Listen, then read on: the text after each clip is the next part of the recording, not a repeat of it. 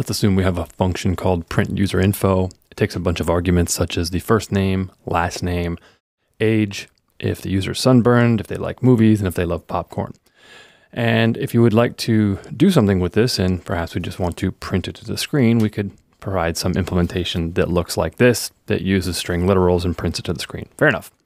Now, if we want to call it, we are going to call it like this. We'll say print user info, and then we have to start providing all of the information, such as Donn Felker, and then we have to provide the age, and then we say, does he, is he sunburned? No, he's not sunburned. He loves movies or likes movies. True. And he loves popcorn. Of course, why not?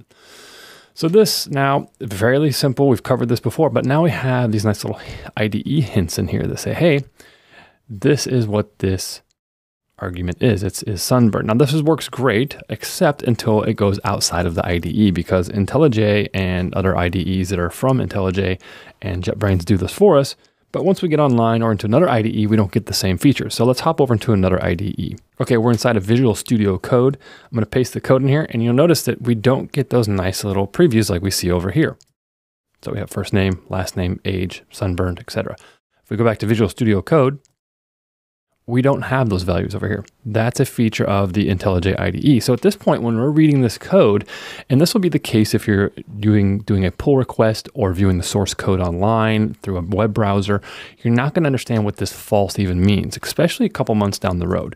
You're not going to understand what true means. True here, we have no idea what print user info is, and most likely this method is somewhere, perhaps in another file, perhaps further down where I can't see it unless I scroll for it and find it and it just makes it more difficult and I have to do a lot of context switching to find it. Now, the interesting thing here is that we can fix this inside of Kotlin. We're gonna go back to IntelliJ and what we can do is actually provide the name parameters here. So I'm gonna type first name. So this is what is known as a named parameter. I'm using the name of the parameter and at the call site, I'm actually providing the name here. So is sunburned, that was false.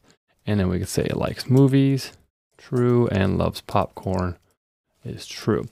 Now, if I actually, I'm going to copy and paste this code again, go back to Visual Studio Code, delete this code here and paste it, you'll see we actually get those name parameters over.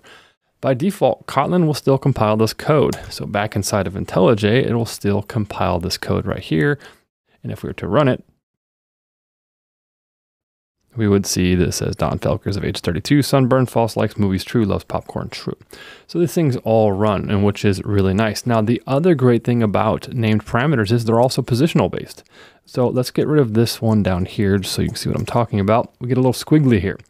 It says mixed Mixing named and positioned arguments is not allowed, meaning that we can't, we're using a positional based argument right now. This is a positional based argument. It's the last one here And the, the list of arguments. I could also undo this and say, hey, uh, let's get rid of the age one here.